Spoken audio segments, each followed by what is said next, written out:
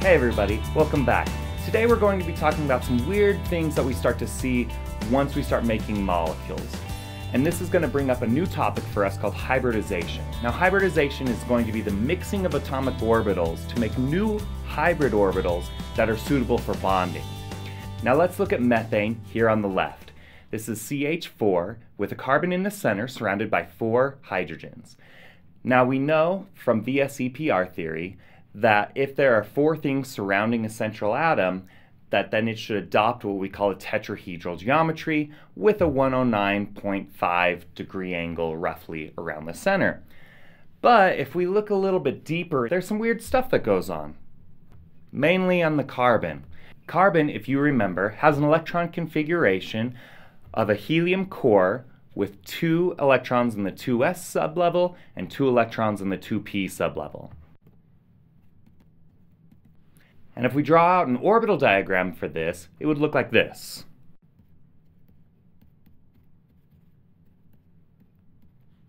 All right, so those are the electrons that are a part of carbon on its valence level. Now we have that s orbital that's fully filled, and then we have two electrons, one each, in 2p orbitals. Now I have an image right here of the 2p and the 2s orbitals surrounding carbon. And if you look at it, we have our 2s here in the center, which has a spherical shape, and then all of my 2p orbitals have that parabolic shape, and they're going in the x, y, and z directions. Now that makes things kind of weird because they're all 90 degrees away from each other. And so how do we get that tetrahedral shape? Another weird thing happens when we start to look at how carbon is even able to have that many bonds.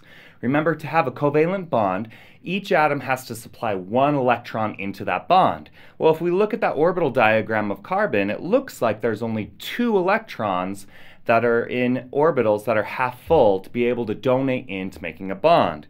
These two right there. So how do we get four bonds with that tetrahedral shape? Well, this is where hybridization comes in. The idea is that these atomic orbitals are only suitable when we're talking about the atom itself and not when it's part of a molecule bonding to something else. So when an atom, like carbon here, bonds with hydrogens, it's going to hybridize its orbitals to make the right type of orbitals for bonding. And to do that, we're going to take all the orbitals that are needed in order to bond and bring them together and then pull out some hybrid orbitals. In this case, we have four orbitals that are needed to bond with four different hydrogens. So what we're going to do is we are going to take all four orbitals that are available to us. That's the 2s and three of the 2p orbitals. And we're going to hybridize them and make four hybrid orbitals out. The rule is, however many atomic orbitals go in, is the same number of hybrid orbitals coming out. So four orbitals went in, and we get one, two, three, four orbitals out. The cool thing about this is now the energy of all four orbitals is a mixture of the energies of the orbitals that went in. So it has a mixture of the energies of the 2s sublevel and the 2p sublevel, but all four of them are now the same exact energy. And now we can put the electrons in there, and because they're the same energy, we get one electron in each orbital. Now we have four orbitals that are half full, ready for bonding, and they now have a different shape. We now have to label them differently because they're no longer the s and the p orbitals, they're hybrid orbitals, and we name them based on the atomic orbitals that went in. We had one s orbital and three p orbitals go in, so each one of these orbitals coming out is going to be named sp3 orbitals. So we have one, two, three, four sp3 hybridized orbitals. Let's look at what this looks like in a simulation. All right, in this simulation, we are now looking at a carbon atom that's right here in the center. Okay, remember that carbon atom, when it's alone, is going to have an S and one, two, three p orbitals. And now we're showing all the orbitals that are there on that carbon. Now remember that this isn't going to be good enough for bonding with those four hydrogens. We first need to hybridize them. So we're going to hybridize by clicking the button. And we see one, two, three, four hybrid orbitals coming out. We can rotate this and look at it a little bit. And as you can see, the shapes are different. The shape looks tetrahedral. And we have these big lobes coming out in all those different directions, 109.5 degrees between them to help with bonding. Now it should be noted that there's this little lobe on the back side and that is part of that hybrid orbital, but we don't usually think of that little lobe being involved in bonding. So we just focus on that big part of the lobe. While we're here, let's finish making our molecule. We had CH4, so I'm going to put four more hydrogens in there. Remember, hydrogen has that 1s orbital, so I'm going to put four hydrogens with their 1s orbital and bring it all together to make a molecule.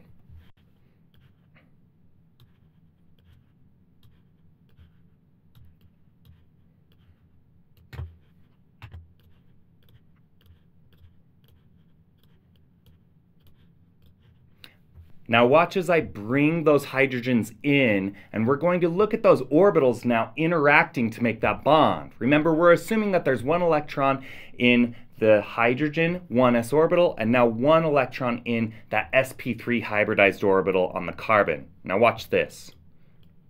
Boop. Boop. Boop.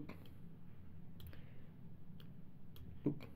And here is an orbital view of methane, of our carbon bonding with those four hydrogens, which looks really, really cool. And we get a very interesting look at how we think of electrons and bonding working. They're in orbitals, and those orbitals are sharing space and helping to kind of glue these atoms together. Watch as I try and pull one of the hydrogens out, and watch what happens to those orbitals. They stretch and they really kind of resist, kind of resist that tug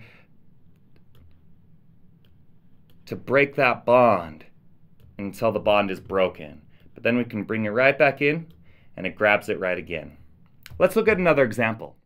All right, in this next example, we're going to be looking at BH3. So BH3 is a really interesting molecule because uh, there is a lack of electrons available around the boron with the hydrogens. So there are only three hydrogens around boron before it ran out of electrons. And so we end up getting this trigonal planar shape with 120 degrees around it. Again, let's do the same treatment that we did with our CH4. Looking at the boron, boron has an electron configuration of a helium core 2s2, 2p1.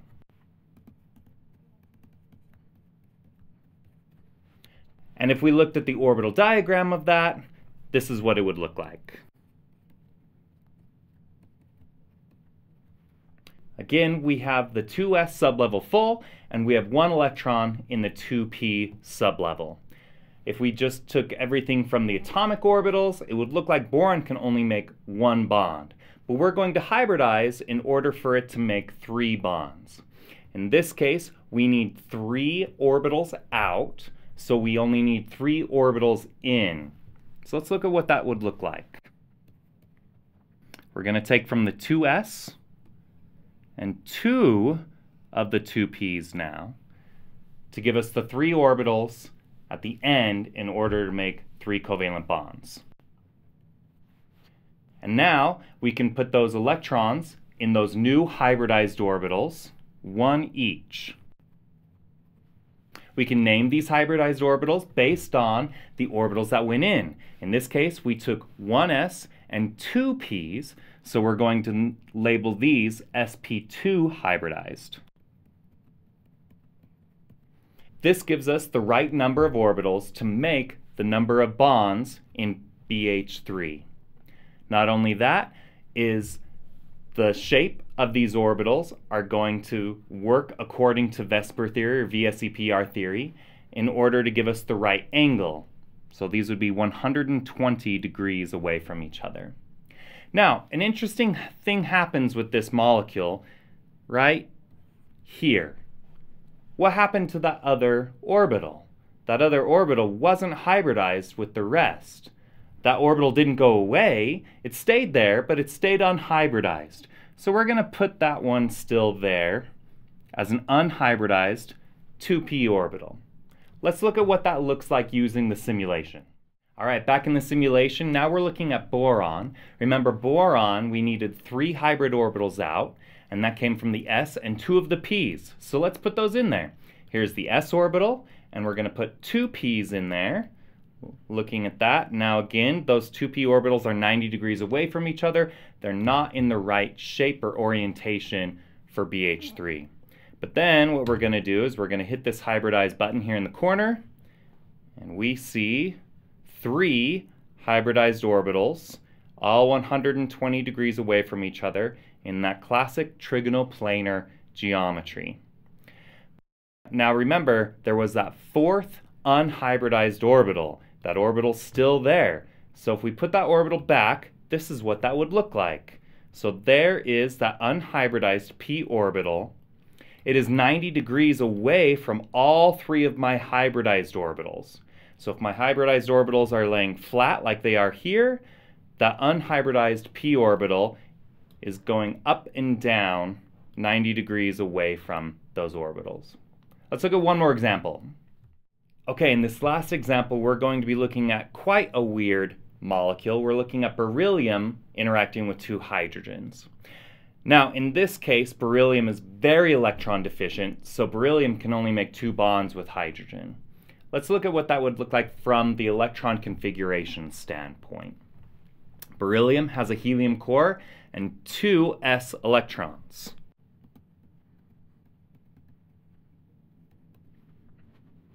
And now let's look at the orbital diagram for that.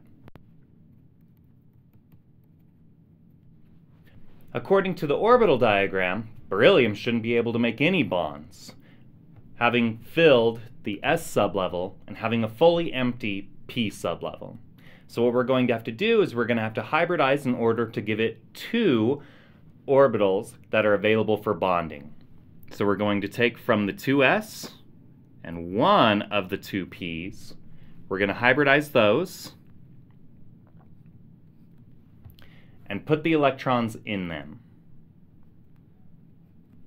We have one electron each, able to make two bonds, which is what we see with the BeH2.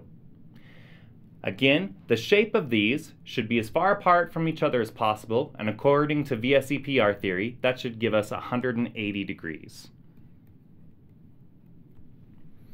Now, just like before, we have to look at what happened to the other orbitals that were not hybridized. In this case, we have two p orbitals that were not hybridized during this process. They're still there, and we have to take account for them.